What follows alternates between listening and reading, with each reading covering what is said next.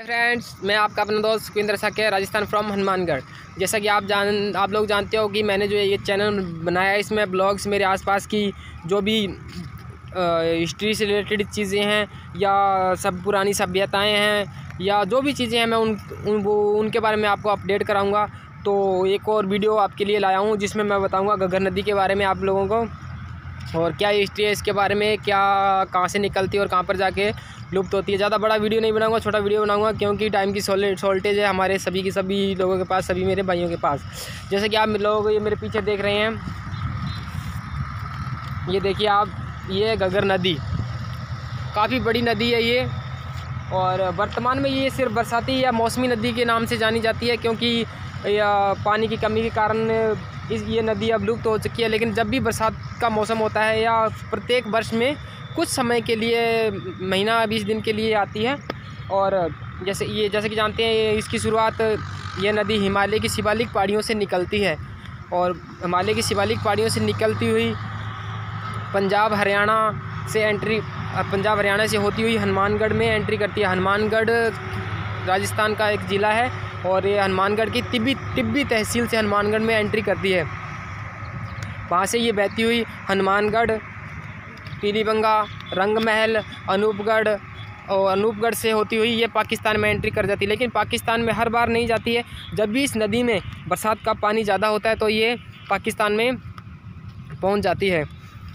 और भी दिखा दे तो देख सकते हैं आप कितना मतलब कि विशाल पानी का क्षेत्र है इस नदी में, कितना बड़ा काफ़ी ज़्यादा चौड़ी है और काफ़ी गहरी है, पंद्रह से बीस फुट गहरी है। और जैसा कि माना जाता है कि जब भी ये नदी आती है, इसमें मतलब कि दो चार लोग अक्सर डूब कर उनकी जान चली जाती है, क्योंकि इस नदी में दलदली मिट्टी होती है, जो नीचे चिकनी लाल मिट्टी है, उस मिट्टी में अक्सर लोग फंस जाते हैं। खासकर कुछ लोग मच्छी, मछली पकड़ने के लिए इसमें जब भी जाते हैं तो वो उनको गहराई का पता नहीं होता, पानी का तो वो लोग इसमें फंस जाते हैं। और प्राचीन ज़माने में सरस्वती के नाम से जानी जाती थी पर वर्तमान में इसको नाली के नाम से जाना जाता है। कुछ इसकी सहायक नदियाँ भी हैं घाघरा गंडक छपरा आदि नदियाँ इसकी सहायक नदियाँ हैं पर वो भी अब फ़िलहाल लुप्त हो चुके हैं। बरसाती बरसात के टाइम में इसमें इस, इस, नदी में पानी लाने में सहायता करती हैं। और देख सकते हैं आपको आगे भी दिखाता हूँ मैं कितनी बड़ी नदी है। और जैसा कि जानते हैं कि इस जब भी जब ये राजस्थान में एंट्री करती है तो एक हनुमानगढ़ ज़िला है उसके दो शहर हैं हनुमानगढ़ जंक्शन और एक हनुमानगढ़ टाउन।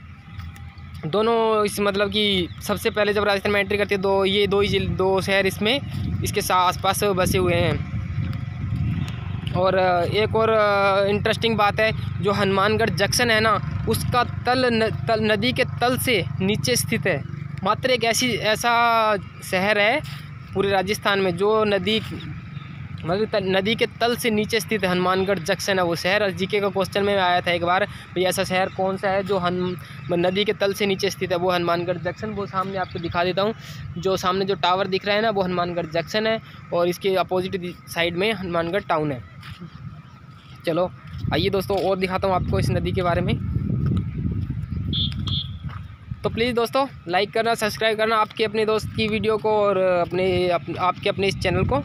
और चलो दिखा देता हूँ आपको कितना बड़ा ये देखिए आप, कितनी भयानक नज़र आ रही है ये नदी, इतना पानी है इस नदी के अंदर कि आम इंसान एक बार देखे, इसको देखे तो थोड़ा सा घबरा भी जाएगा क्योंकि बहुत ज़्यादा पानी है मतलब कि लाल पानी, इसमें इस पानी का लाल होने का, मेन कारण यही है कि हिमालय की शिवालिक पहाड़ियों से जब भी आती है, वहाँ कच्चे पहाड़ हैं।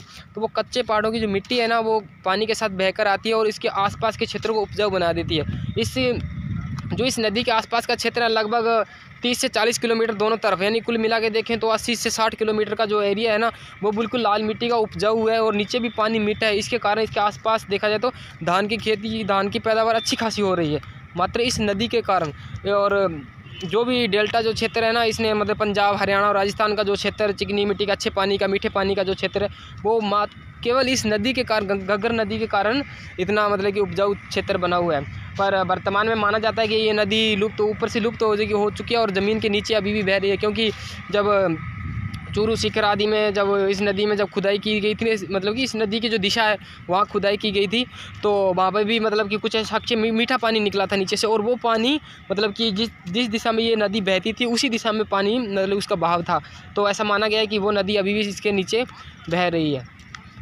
काफ़ी मतलब कि प्रसिद्ध नदी थी पुराने ज़माने में। रामायण महाभारत में भी इस नदी का ज़िक्र किया गया था, पर अच्छे रखाव और देखभाल के कारण ये नदी लुप्त हो चुकी है और अब सिर्फ़ बरसाती मौसमी नदी बनकर रह गई है और काफ़ी फ़ायदा लाभ पहुँचाती है अभी भी लोगों को क्योंकि आसपास के जो लोग हैं वो अपने इस इस नदी में जब बरसात का मौसम आता है, उस टाइम धान का सीज़न होता है। धान का सीज़न होने के कारण इस नदी के पानी से वो अच्छा खासा मतलब महीने से महीना, बीस दिन अच्छे खासे अपने खेनों, खेतों को, अपनी फ़सलों को अच्छा पानी दे लेते हैं और जिससे वो उनकी पैदावार अच्छी होती है और इस, इसमें जो पहाड़ों से जो मिट्टी आती है पानी के साथ, वो उस मिट्टी उपजाऊ मिट्टी है मिनरल्स विटमिनस जो भी मतलब कि जो फ़सल के लिए, पैदावार के लिए जो अच्छे फ़ायदेमंद है, वो सब इस पानी के अंदर मौजूद होते हैं और इसके अंदर काफ़ी संख्या में मछलियाँ भी आती हैं, जो कुछ लोग, मछुआरे जो लोग हैं, वो उस टाइम जब पानी चला जाता है, जहाँ पर गहराई या खड्डे हैं डूँगे तो उन, उस जगह के अंदर पानी रुक जाता है तो उसके अंदर कुछ, जो हमारे बिहारी भाई हैं